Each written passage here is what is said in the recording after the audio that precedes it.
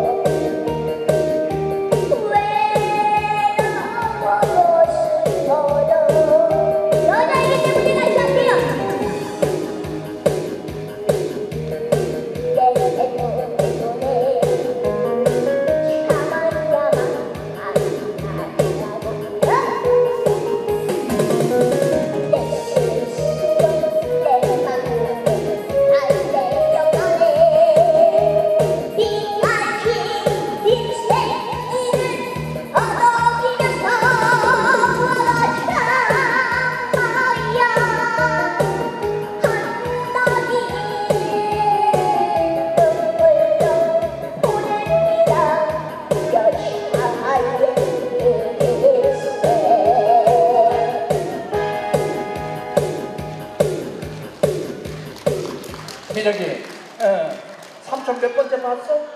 세 번, 네 번째 봤지?